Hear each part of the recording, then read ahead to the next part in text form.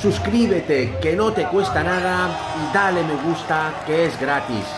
Antes de empezar, no te olvides de darle me gusta, pulsar el dedito de arriba, que no te va a costar nada, es totalmente gratis para que este vídeo llegue a más culés como tú.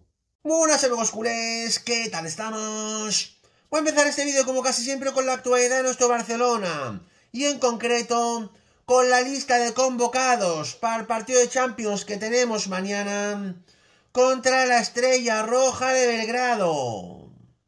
Vamos a por ello. Pues bien, con el 2, Cubarsi, con el 3, Alejandro Valde, con el 5, Íñigo Martínez, con el 6, Gaby, con el 8, Pedri, con el 9, Robert Lewandowski, con el 10, Ansu Fati, con el 11, Rafinha, con el 13, Iñaki Peña, con el 14, Pablo Torre, con el 16, Fermín López, con el 17, Marc Casado, con el 16, Pau Víctor, con el 19, Lamin Yamal, con el 20, Dani Olmo, con el 21, Frankie de Jong, con el 23, Jules Koundé, con el 25, Chesney, con el 26, Astralaga, con el 32, Héctor Ford, con el 35, Gerard Martín, y por último, con el 36, Sergi Domínguez. Seguimos con la actualidad de nuestro Barcelona. Equipos top de la Premier League quieren fichar a Marc Casado. Vamos a por ello. Pues bien, en la Premier ya se pelean por Marc Casado. La excepcional temporada que está cuajando en el primer equipo a las órdenes de Hansi Flick no ha pasado desapercibida en Inglaterra. Manchester United, Liverpool y Newcastle se habrían fijado como objetivo intentar fichar al centrocampista culé. El canterano, como sabemos, renovó este verano, tiene contrato hasta el 2028 y una cláusula de 100 millones de euros. Hansi Flick parece haber tocado una varita mágica a varios futbolistas del Club Barcelona desde su llegada. Con el alemán son varios los jugadores del primer equipo que han multiplicado su rendimiento, pero también se ha vivido la irrupción de jóvenes en el primer equipo que han llegado para quedarse. Sin duda, uno de ellos es Marc Casado. El canterano azulgrana ha derribado la puerta del primer equipo después de recibir el apoyo y la confianza de Hansi Flick y su excepcional temporada ha despertado, como es lógico, ya el interés de varios grandes de la Premier League.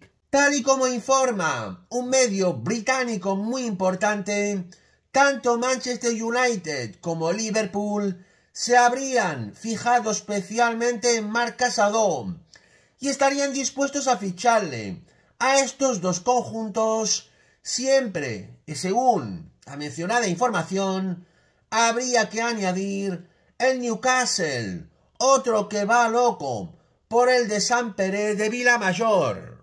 Para la tranquilidad de la parroquia azulgrana, cabe recordar que Marc Casado renovó este verano su contrato con el club hasta el 2028 y su cláusula de rescisión quedó fijada en 100 millones de euros, por lo que si los ingleses quieren hacerse con los servicios del talentoso centrocampista, deberán convencerle primero a él y luego al Fútbol Club Barcelona para que accedan a negociar un precio de traspaso. Vamos a ver, aquí hay que ir por partes. Sé que varios culés ahora mismo van a decir por qué el Barça le puso solo 100 millones de cláusula a Marc Casado.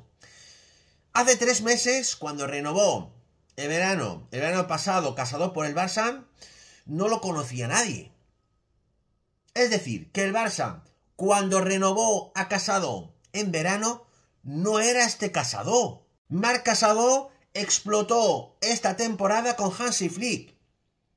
Y la cláusula va, depende de la ficha que tú estás cobrando con tu club.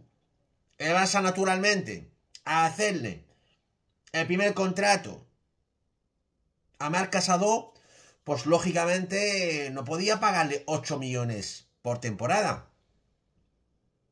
Y Casado, al tener la ficha de momento baja con el Barça, pues la cláusula como mucho tiene que ser de 100 millones de euros. Pero tranquilidad, Casado no va a abandonar el Barça, no le interesa ninguna oferta de ningún equipo de la Premier League y va a renovar con nuestro querido Barcelona el próximo verano y lógicamente va a tener una cláusula como mínimo de 500 millones de euros. Así que tranquilidad que vamos a tener a Casado para largo. Y ahora sigamos con el temazo principal, bombazo jamás visto.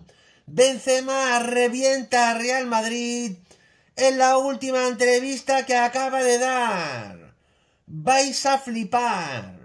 Vamos a por ello. Están criticando mucho a Mbappé.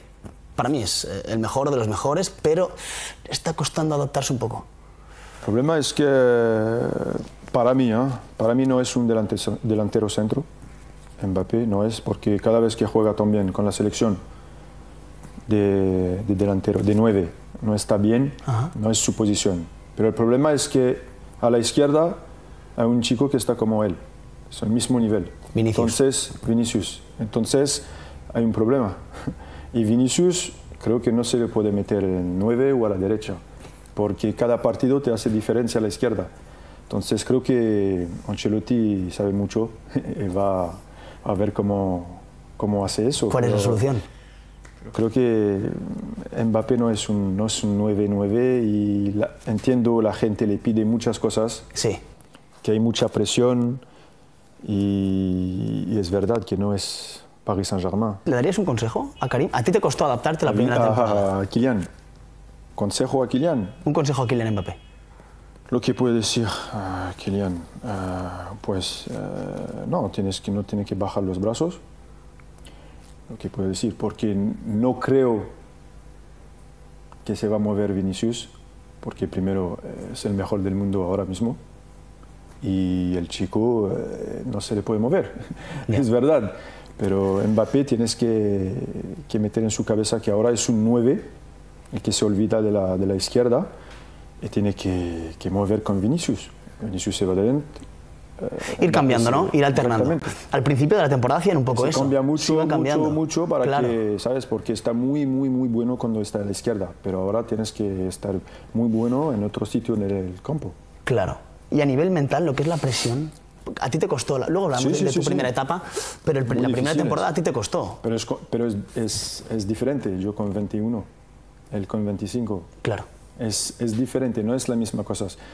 Pero él sabe, creo que sabe que hay mucha presión en Madrid. Sí. Madrid no es un club de con dos o tres partidos, si no metes un gol, te va a matar. Y puedes ganar el balón de oro lo que quieres, tres partidos después no mete otra vez. Él tiene que, que aprender a vivir con eso. Y él se tiene que meter una buena presión. De cada partido es un nuevo, nuevo partido y tiene que meter goles. Porque te han traído para meter goles únicamente. Ya está. Pero él tiene, tiene el nivel y tiene todo para hacer eso. La presión del Madrid. ¿eh? Es muy, muy fuerte. Alucinante, ¿verdad? Está diciendo que Florentino tiene puñetera idea de fichar. Que ha fichado a dos jugadores que juegan en la misma posición. Ojito con lo que va a pasar en el Real Madrid con Vinicius y Kylian Mbappé, sobre todo si no ganan esta tarde al Milan en Champions. Estaremos atentos a los acontecimientos. Esta ha sido mi grandísima noticia de hoy, amigos culés. No os olvidéis suscribirse a mi canal, que no os cuesta nada. Pulsar un like como siempre. Y dejarme comentarios para cambiar opiniones. Muchas gracias. Forza Barça por siempre, vamos a por todas. y nos vemos muy pronto en mi próximo vídeo. ¡Vamos!